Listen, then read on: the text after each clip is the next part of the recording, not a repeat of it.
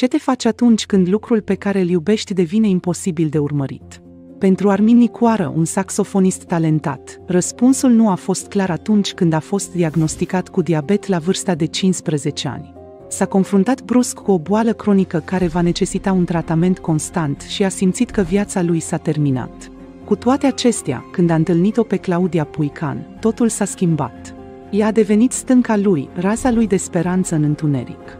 Prin dragostea și sprijinul ei, Armin a învățat să trăiască cu diagnosticul său și să aprecieze toate bucuriile din viața sa.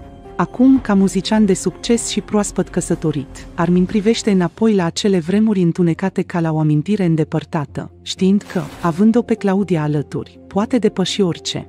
În acest articol ne adâncim în călătoria lui Armin și în rolul pe care Claudia l-a jucat în a-l ajuta să găsească lumina în mijlocul celor mai întunecate momente ale sale. Armin Nicoară este un saxofonist talentat, cu un viitor strălucit în față. Dar la vârsta de 15 ani, a primit o veste care avea să-i schimbe cursul vieții pentru totdeauna. A fost diagnosticat cu diabet și s-a confruntat brusc cu o boală cronică care va necesita un tratament constant. Vestea l-a lovit puternic și a fost cuprins de un sentiment profund de tristețe și disperare. În acel moment, Armin a simțit că viața lui s-a terminat. Nu putea accepta boala și era măcinat de gânduri negative. Era pierdut într-un loc întunecat și nu știa cum să găsească drumul înapoi spre lumină. Dar apoi a întâlnit-o pe Claudia Puican. Cei doi au început să se întâlnească și ea a devenit stânca lui, oferindu-i dragostea și sprijinul de care avea atât de multă nevoie.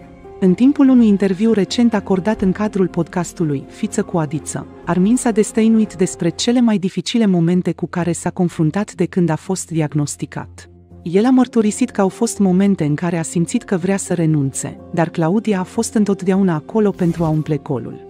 Ea a fost raza lui de speranță, strălucind mereu o lumină în întuneric. Depresia lui Armin nu a dispărut peste noapte.